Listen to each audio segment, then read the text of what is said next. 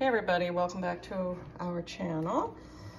So I threw together a meatloaf and um, here's what I put in it.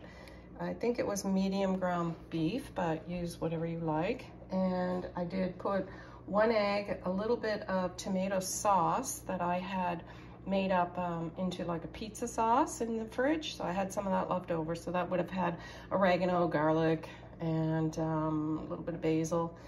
And um, so anyway, it was um, burger, an egg, a little bit of mushroom, some red onion, and just a little tiny bit of shredded cheese, uh, just because it was sitting on the counter. Lots of black pepper, tiny, tiny bit of salt, and there's what it looks like underneath. And you can add whatever you want. Meatloaf is super easy. I'm gonna put this in the oven at 350 until it's done. Bye for now.